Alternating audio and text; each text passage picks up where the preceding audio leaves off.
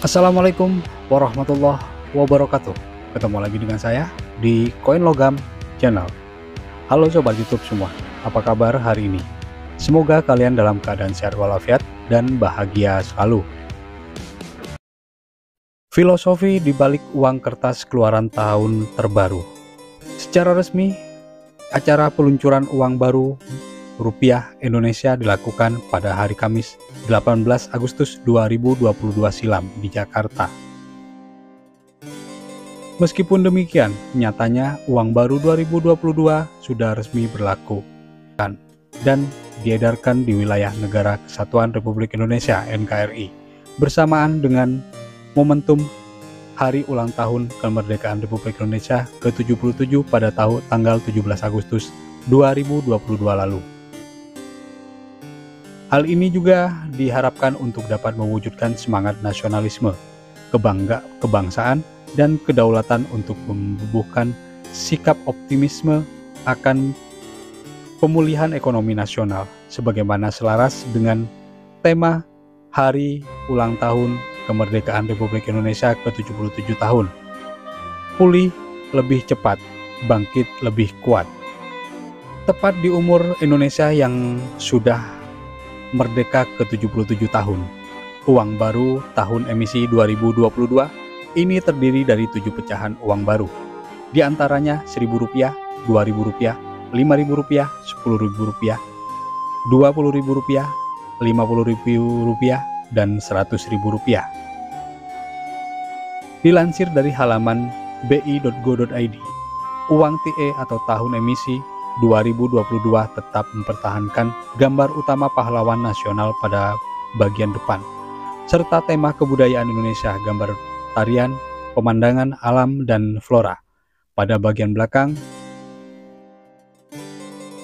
sebagaimana uang TE 2016. Terdapat tiga aspek inovasi pengguna penguatan uang TE 2022, yaitu desain warna yang lebih tajam, unsur pengamanan yang lebih andal, dan ketahanan bahan uang yang lebih baik.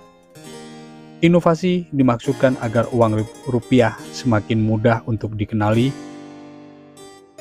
ciri-ciri keasliannya, nyaman dan aman untuk digunakan, serta lebih sulit untuk dipalsukan sehingga uang rupiah semakin berkualitas dan terpercaya secara serta menjadi kebanggaan bersama sebagai simbol kedaulatan Negara Kesatuan Republik Indonesia NKRI.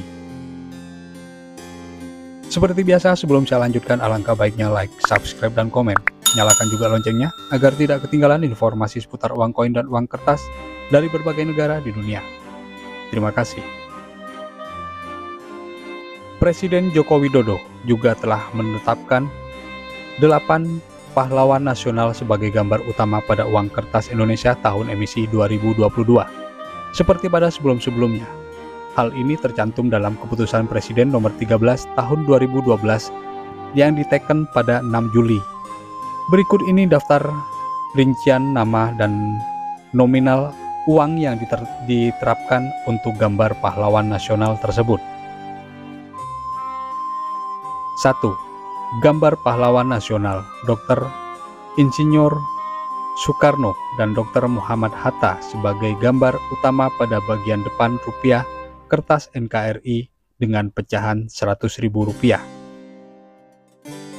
2. Gambar pahlawan nasional Insinyur Haji Juanda sebagai gambar utama pada bagian depan rupiah kertas NKRI dengan pecahan Rp50.000. 3 gambar pahlawan nasional Dr. Samratulangi sebagai gambar utama pada bagian depan rupiah NKRI dengan pecahan Rp20.000.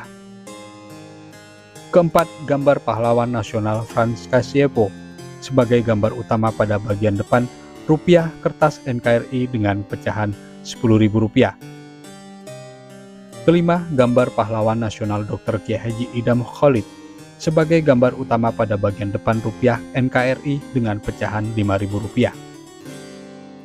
Keenam, gambar pahlawan nasional Muhammad Husni Tamrin sebagai gambar utama pada bagian depan rupiah kertas NKRI dengan pecahan Rp2.000.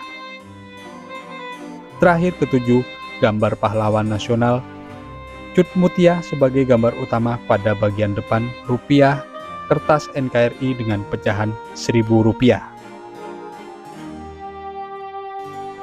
Bank Indonesia juga memprediksi peredaran uang lama tahun emisi 2016 akan benar-benar tergantikan dengan uang baru 2022 pada 3-4 tahun ke depan yang akan datang. Pernyataan ini telah disampaikan oleh Kepala Departemen Pengelolaan Uang Bank Indonesia Marlison Hakim berlandaskan pergantian uang rupiah emisi tahun sebelum-sebelumnya biasanya secara pengalaman atau historis. Sekitar 3-4 tahun itu sudah bisa digantikan seluruhnya dengan emisi tahun baru. Pada saat ini, baru nanti kita akan putuskan uang atau emisi lama tersebut sudah tidak berlaku lagi, ujarnya pada saat taklimat media virtual. Beliau menjelaskan bahwasannya dengan peluncuran uang tahun 2022, maka akan memberhentikan percetakan uang lama 2016 sampai uang emisi lama akan semakin berkurang dan benar-benar habis sejalan dengan waktu. Sehingga nanti pada satu titik yang beredar adalah memang uang 2022 dan pada waktu tersebut nanti ada waktunya kita akan melakukan penarikan dan pencabutan uang edisi lama, jelas Marlison. Meskipun demikian, hal ini masih menjadi bahan uji coba sampai uang baru benar-benar merata, sehingga seluruh uang rupiah, kertas, ataupun logam yang telah dikeluarkan sebelumnya masih dinyatakan berlaku sebagai alat pembayaran yang sah di seluruh wilayah NKRI sepanjang belum dicabut dan ditarik seutuhnya dari peredaran oleh Bank Indonesia. Demikian filosofi di balik uang kertas keluaran tahun baru. Semoga informasi ini bermanfaat untuk sobat YouTube semua. Jangan lupa like, subscribe, dan komen. Nyalakan juga loncengnya agar tidak ketinggalan informasi seputar uang koin dan uang kertas dari berbagai negara di dunia. Terima kasih. Wassalamualaikum warahmatullahi wabarakatuh.